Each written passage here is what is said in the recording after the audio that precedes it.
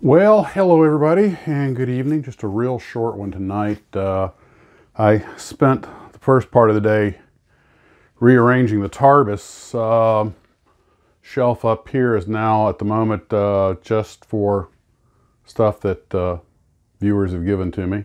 Uh, so all these kits and things are things that you guys sent, and um, I'll probably expand that to the lower shelf. That's not including the stuff that's on display in the house.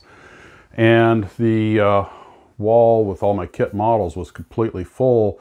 And I realized with a little bit of work, I could actually lower the shelf and create more room, which I did, as you can see. But of course, that meant taking the boxes down and moving everything. And yeah. yeah, yeah, yeah. between that and cleaning this place up a little bit, rearranging took the first half of the day. So I was kind of like, Ugh. So second half of the day, I uh, decided to do a, a, real, real basic, just I wanted to do a, a simple, easy, fun build. So I, I, did the HMS Amazon that Mr. Hamilton had sent to me. I did it in one sitting. I'll probably paint it tomorrow, but uh, I'm happy to report that for once, not a single piece made it to the floor. One dropped in my lap, but that was it. And everything is on there. I didn't lose a single part. Yay, me. Um, and I am really impressed because look how tiny these parts are. And of course, Airfix did a, a, a great job on uh, detailing these teeny tiny parts. This is 1 600 scale. And that ship was uh, an anti-submarine frigate that was commissioned by the Royal Navy in 1973. So it's a Cold War era vessel. But anyway, it was a very fun sit down build. Everything went just good. And that's great. That, that, that was just the relaxing I needed. Um, and a few other odds and ends. Well, I actually shot a little video, so while I was doing things, so I'll just show you that, and here we go.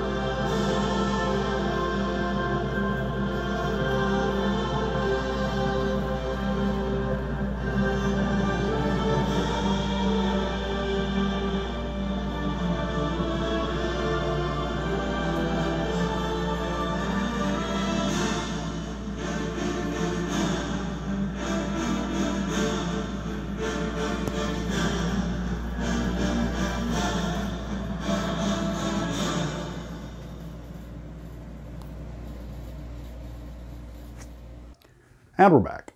Um, and uh, hope you enjoyed that reveal on the HMS Amazon.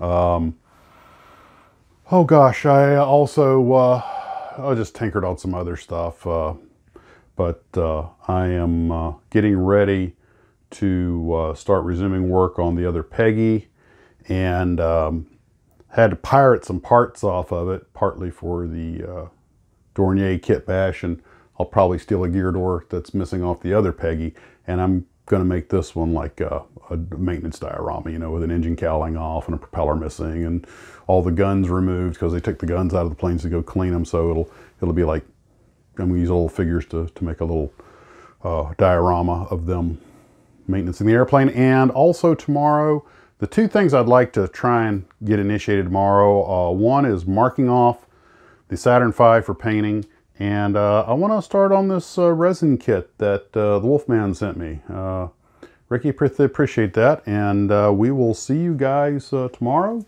Oh, by the way, in case you were just curious about this weird thing hanging up here, that's from that red Star Trek parody I made. Like, anyway, I, I might have already included that in the narrative while I was, while I was, well, here, just watch.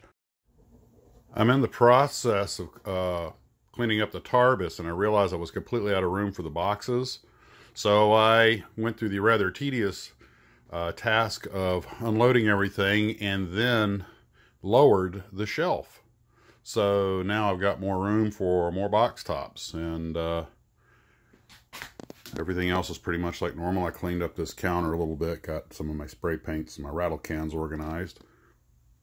Everything up on this shelf, I cleaned off this shelf. Everything up there on that shelf are things that uh, you great people gifted to me. So that's going to be reserved for the uh, viewer shelves. And probably the second shelf will be dedicated to the same thing, but that's not including the ones that are in the house on display. So uh, that's what I spent the morning doing.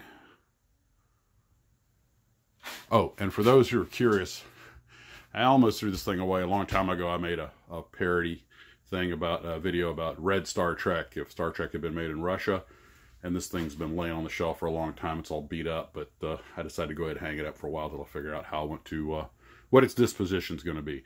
By the way, I did not build this biplane. I took it down off the wall. It's one I'd gotten with a lot of pre-built models, but it has no decal. So I just thought for fun and practice, I might uh, finish it off. So anyway, uh, got the Samoa kits, uh, little ones uh, lined up to start working on.